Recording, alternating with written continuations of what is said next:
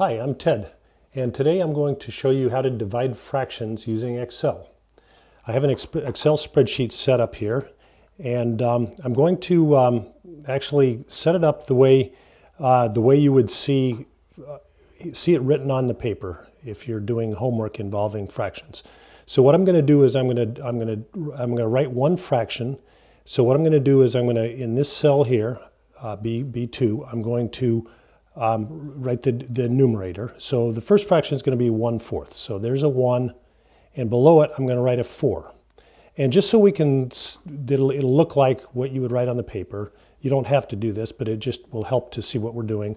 I'm going to put a border under the 1 that will be like the, um, the line that goes between the numerator and the denominator in a fraction.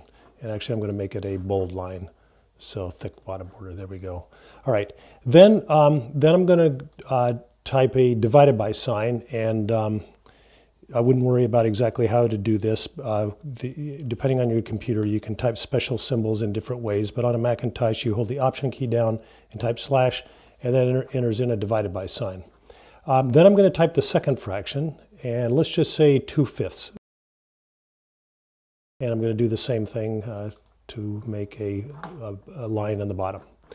And then I'm going to type an equal sign, but the, um, just for your information, if you type an equal sign in Excel, it immediately thinks you're going to enter in a formula. So anytime you want something to be entered in and you want it to be entered in as text, type a single quote first.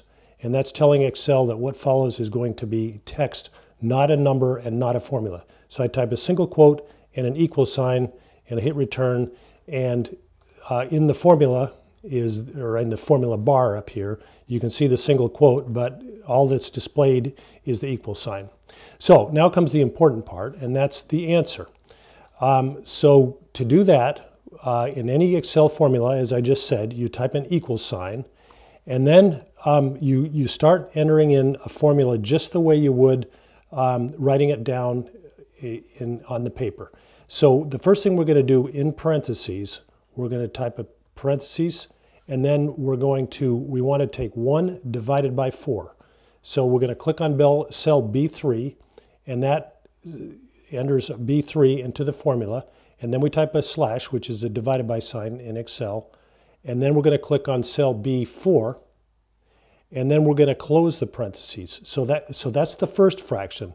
That's just saying the, the answer that's going to be entered into this cell here, F3, is going to be B3 divided by B4, which is 1 fourth.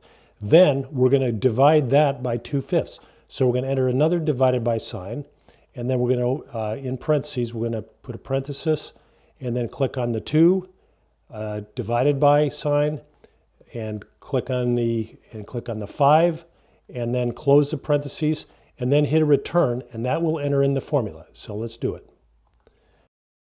So I hope this helps. I'm Ted, and today I showed you how to divide fractions in Excel. Thank you for watching.